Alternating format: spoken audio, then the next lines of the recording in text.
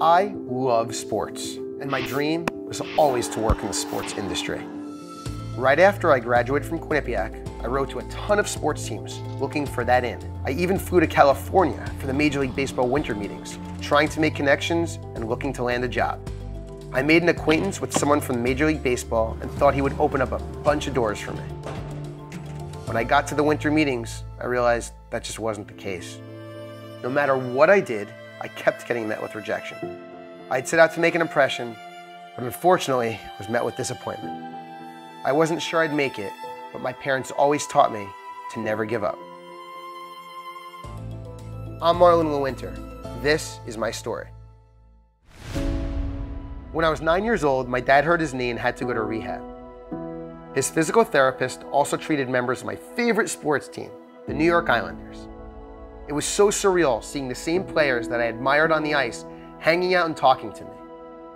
From then on, I knew I wanted to work in sports and just be around athletes. When it came time for college, I decided that Quinnipiac was the best place for me, and I joined the School of Communications. I thought QU was perfect. It was close to New York and close to Boston, two of the biggest sports markets in the country. From the moment I stepped on campus, I got involved with student government, anchored the campus news station, and even wrote for the school paper. The more involved I got, the more I was learning. Professors like Bill Schweitzer, who is announcing for the Minnesota Twins minor league team in New Britain, invited me to shadow him. I don't think you find that hands-on experience at many other universities.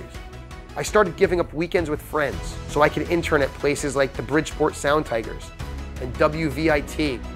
I even spent the summer with News 12 Long Island and the legendary Bob Wolff. During spring of my senior year, the New York Islanders made the playoffs and we were looking for volunteers.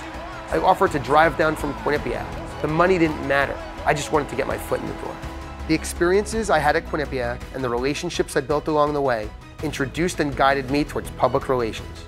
PR and sports became my passion, and connecting the two came naturally to me. Things worked out. I never gave up, and I walked away from the baseball winter meetings with over 35 new business cards and new connections. I maintained those relationships, and it got me to my first job working at a PR agency in New York City. Those first few years, I moved around to a couple of agencies, gaining experience consulting with major brands like Vitamin Water and Reebok. Then I eventually moved on to Under Armour for nearly a decade.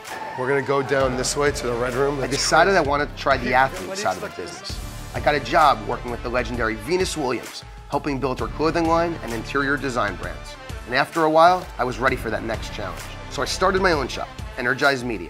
And my first client was the American Cornhole League.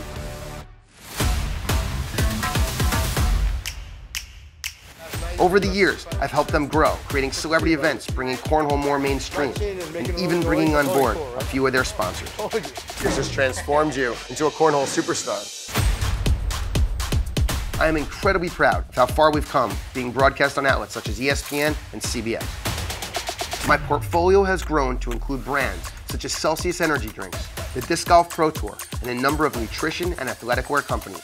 I wake up every single day loving what I do, constantly pushing myself to go further.